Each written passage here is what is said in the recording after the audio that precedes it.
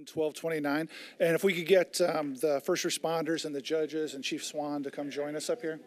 I know it's a sort of tight space, um, but uh, just, and maybe we'll have the council members scoot to the side so we can.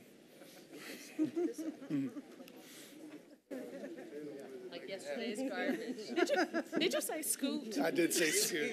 And then Aaron's going to go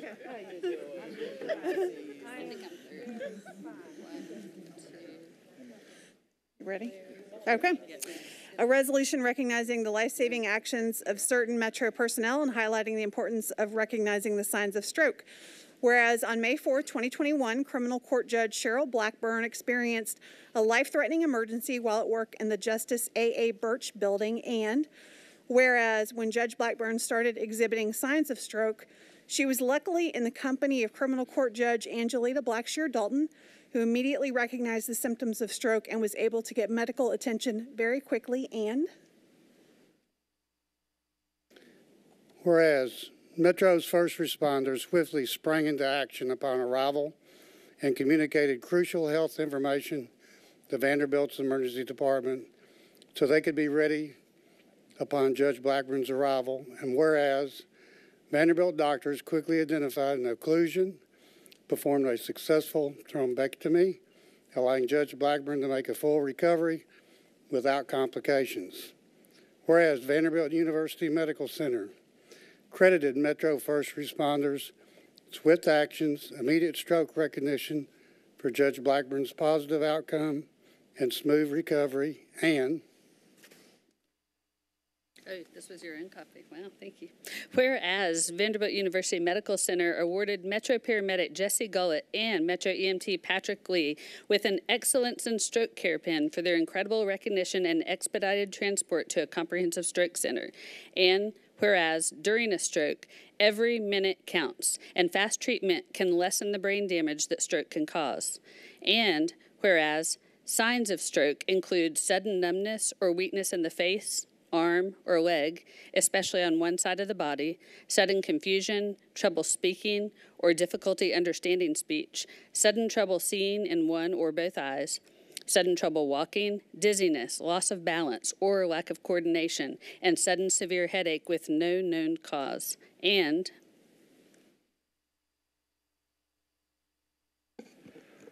Whereas the most effective stroke treatments are available only if the stroke is recognized and diagnosed within three hours of the first symptoms, and whereas if someone might be having a stroke, act fast and do the following simple test. F. Face. Ask the person to smile. Does one side of the face droop? A. Arms. Ask the person to raise both arms. Does one arm drift downward? S. Speech. Ask the person to repeat a simple phrase. Is the speech slurred or strange? T. Time.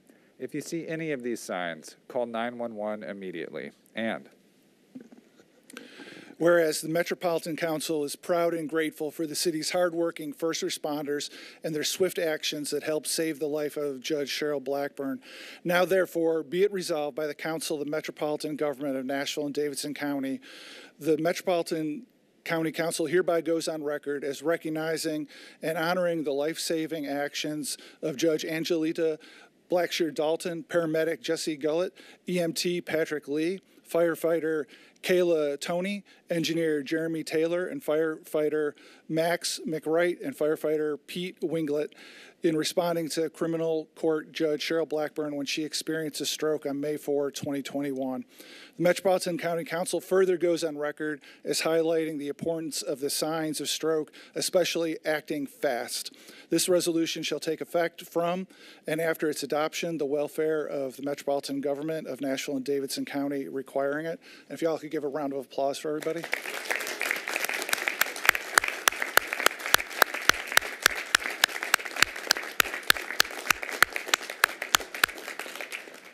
And if we can, um, I'd like to maybe ask Judge Blackburn to come up and say a couple words, and, and then maybe Chief Swann.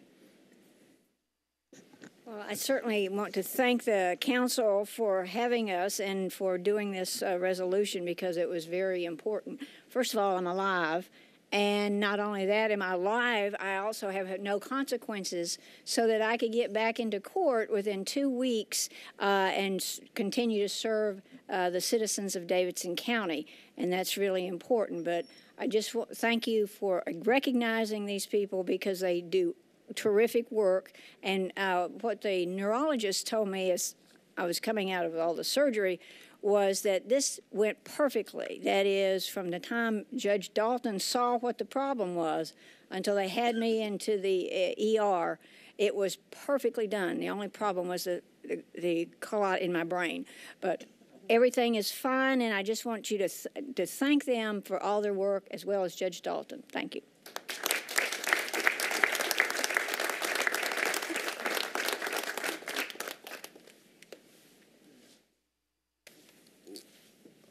Keep these on. Well, as always, I want to thank the Metro Council and the Mayor's Office for all the support and, uh, of course, for this testimony. This is something that the men and women of the Nashville Fire Department do every, every day. Uh, the four major emergencies uh, that we deal with, uh, everything from heart attacks, from strokes and choking, and of course, cardiac arrest. Small example of what we do on a daily basis. In just a six week period, I had that pulled up and I was trying to impress you guys. Well, well, this is important because uh, first, I'm honored to be the chief of such a great department of guys that put it on the line, men and women put it on the line every day.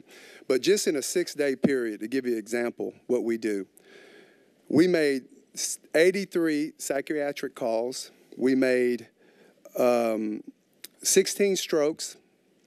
We had 80 chest pain. We had 18 cardiac arrests. Just is in a six day period. We're well over 130 some thousand uh, calls that we do every year. But again, at this year and date, but I just want to acknowledge the men and women of the Nashville Fire Department uh, and all the great work that they do. And thank you guys for acknowledging us and always supporting us. So, again, thank you guys.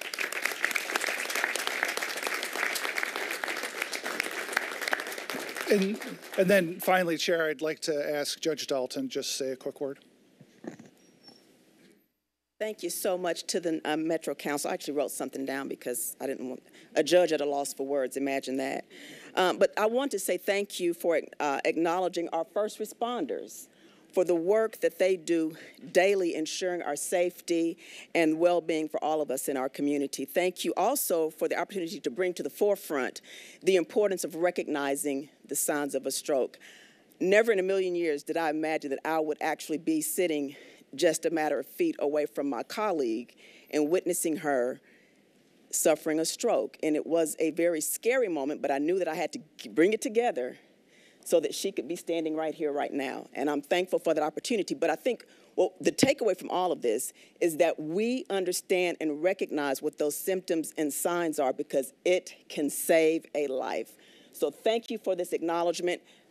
Thank you to our first responders for what you do every day. I don't think that the city really acknowledges that enough. So just let me say thank you for the work that you do every day to make sure that we are all safe uh, uh, in, in our city. So thank you. Thanks, thanks, Chair. Um, we, we've got uh, copies of the resolution with Rosie over there. Thank you so much. You. Really appreciate it. Thank you for your service.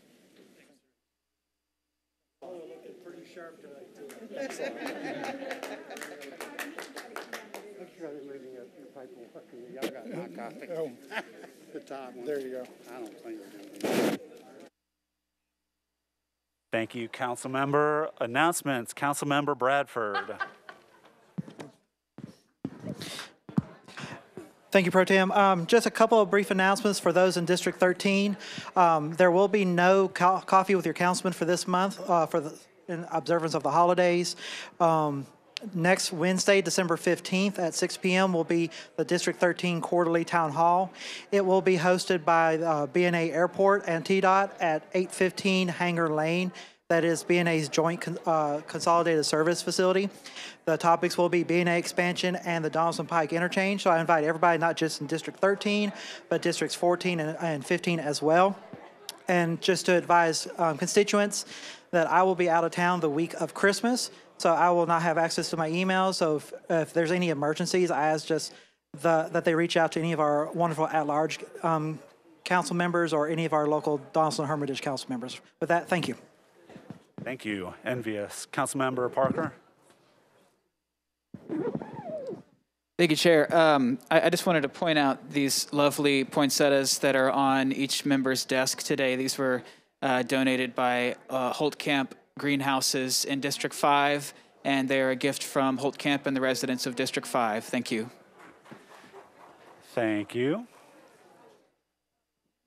Other announcements? Councilmember Sepulveda? Thank you, Chair.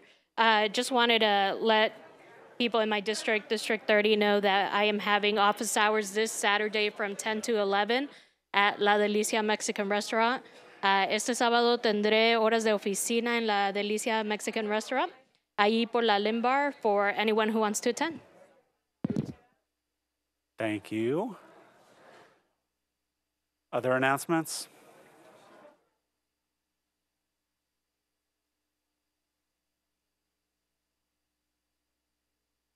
Councilmember O'Connell, what's on your mind?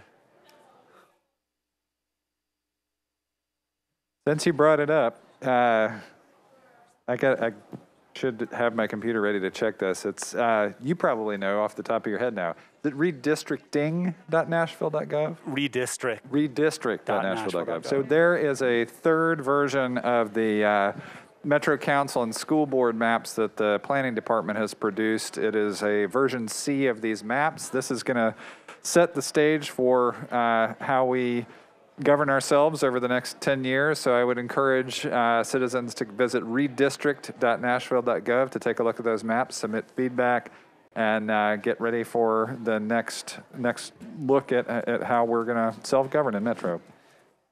Thank you, Councilmember. Any other announcements? Encore. Yeah, I just I wanted to call. I mean, we we are working on a resolution, but I did want to point out that um, the Nashville Children's Theater is celebrating their 90 years of being just an extraordinary opportunity. It is a gem of both District 19 and the city. Um, their current performance is uh, The Elves and the Shoemaker, and I do encourage people to just take a look at what they've got. They've got amazing performances year round, obviously, like anything in the performing arts.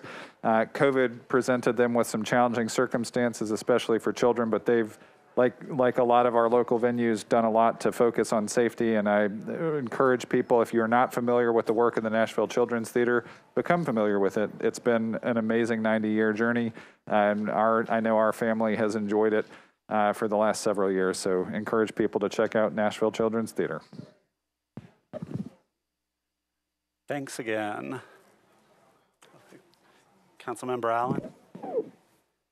Thank you, Mr. Speaker. I have uh, three meetings that I would like to announce. We are uh, beginning at the budget information series following in the um, footsteps of my predecessors, offering both the Budget to Metro Council's Budget Committee and the, the community the opportunity to get a better understanding of how the Metro budget works. So the first one will be this Thursday, December 9th at 6 p.m. in council chambers.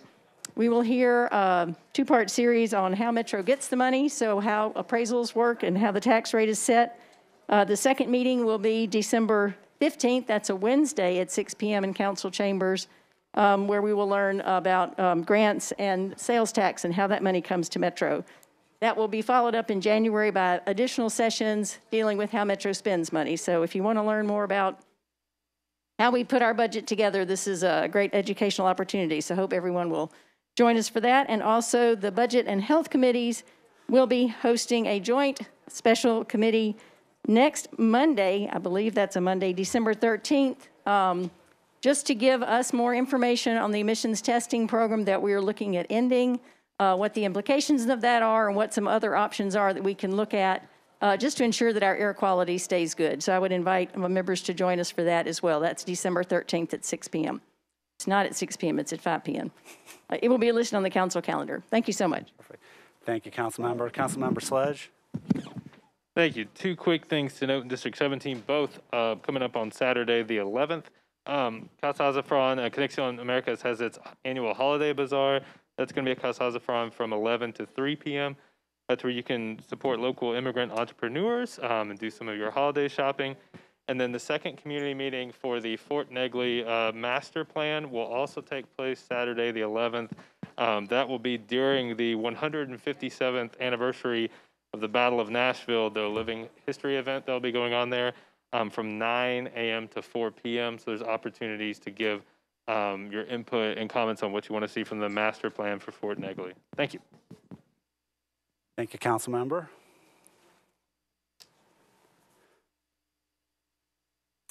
I'll take the opportunity to announce that uh, in the last couple weeks, the school board voted unanimously to name the new school uh, being built in Bellevue, the new high school, James Lawson High School. Uh, Dr. Lawson, of course, the architect of the nonviolent civil rights movement, has done so much amazing work in Nashville, based in Nashville, across the nation. Um, I'm thrilled at, about the vote, the huge community support, and that Dr. Lawson has expect, uh, expressed his desire to be on hand when the ribbon is cut. Anybody else? All right. Council meeting in 15 minutes.